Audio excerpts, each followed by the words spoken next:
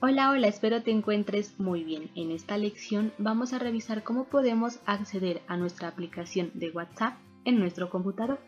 Como primer paso, en nuestros celulares ingresamos a nuestra aplicación, vamos a dar clic en los tres puntos que aparecen al lado de la lupa, damos clic en vincular un dispositivo.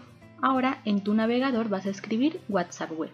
Damos clic en el primer enlace y nos va a aparecer un código QR. Para no repetir este proceso de escanear el código QR, muy sencillo, vamos a dejar activa la casilla de mantener sesión activa. En el caso de que no queramos que nuestra sesión permanezca activa, la dejamos desmarcada. Ahora en nuestros celulares vamos a tener el escáner de QR.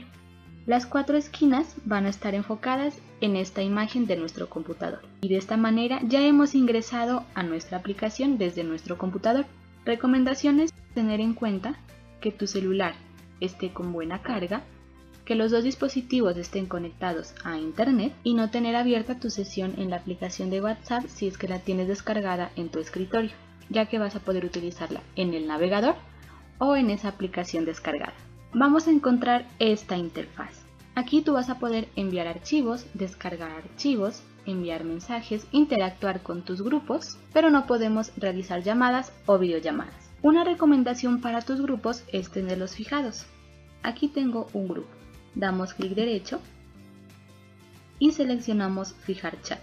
WhatsApp te permite fijar hasta tres chats. La ventaja de los chats fijados es que tú vas a poder mirar esas conversaciones de primeras. Y si te llegan otros mensajes, van a aparecer debajo de los chats fijados. Cuando entramos a un grupo o a un chat, vamos a tener estas opciones, los emojis, un clip para agregar archivos y el micrófono para enviar audios. Vamos a dar clic en el icono de archivos. Aquí podemos agregar fotos y videos, para activar la cámara, agregar documentos y contactos. Si tenemos imágenes o documentos en nuestro chat y los deseamos descargar a nuestro computador, vamos a ubicar, en este caso tengo una imagen, damos clic en esta flecha que apunta hacia abajo y seleccionamos descargar.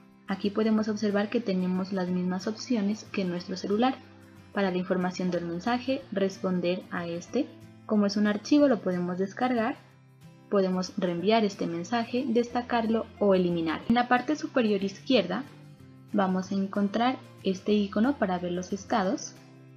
Si queremos iniciar nuevas conversaciones y los tres puntos, donde podemos crear un nuevo grupo, revisar nuestro perfil mirar mensajes archivados, destacados, opciones de configuración y si queremos cerrar la sesión de WhatsApp Web, tenemos esta opción. WhatsApp nos da la posibilidad de tener nuestro propio blog de notas. Esto es una gran ayuda ya que en este chat vas a poder tener los borradores de tus mensajes u otro tipo de archivos. Y con este tip damos finalización a esta lección. Esperamos haya sido de tu agrado y si aún no has usado WhatsApp Web, te invitamos a abrirla en tu navegador. Hasta la próxima.